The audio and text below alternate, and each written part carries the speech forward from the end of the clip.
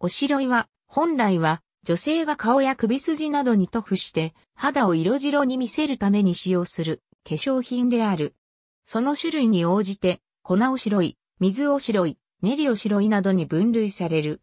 舞妓の首筋に塗布されたおしろい2本で、ファンデーションといった油性化粧が一般化する前は、おしろいがベースメイクとして普及していた。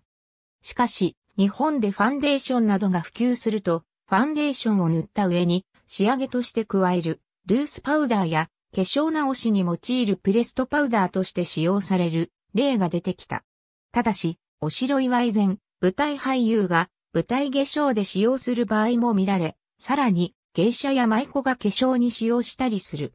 また、ファンデーションの肌に対する負担や害悪を低減させる目的で、おしろいだけを使用したベースメイクをするものもある。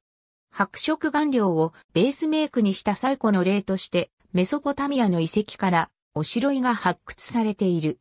自然な肉体美が賛美された古代ギリシアでは、ヘタイラと呼ばれる娼婦がもっぱらおしろいを使っていた。これが古代ローマの時代になると、多くの女性がおしろいを利用した。ローマ帝国以後、化粧の文化は一旦衰退したが、中世後期からルネサンス期にかけて、イタリアを中心に顔にお白いを塗り、その上に方紅を加えるメイクが流行した。このメイク法は18世紀にかけてヨーロッパ全域の王侯貴族に男女問わず広がった。貴族の時代が終わり市民の時代になると多くの女性がお白いを利用するようになったが、お白いに含まれる亜鉛化の毒性が健康上の問題となった。20世紀中頃からベースメイクの主流はお白いからファンデーションに移っていった。日本では7世紀頃に中国から腹やハフニというお白いがもたらされ、その後日本でも製造されるようになった。お白いに塩白が使用されていた時代は鉛中毒により胃腸病、脳病、神経麻痺を引き起こして死に至る事例が多発し、また日常的に多量の塩白粉を使用する役者は、特に鉛中毒の症状が顕著であった。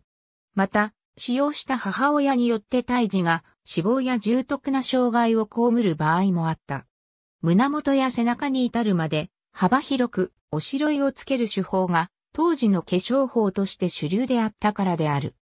塩白による健康被害が明らかになったため、日本では1934年に鉛を使用したおしろいの製造が禁止されたが、円白入りのものの方が美しく見えるとされ、以前かなりの需要があったという。五代目、中村歌右衛門など、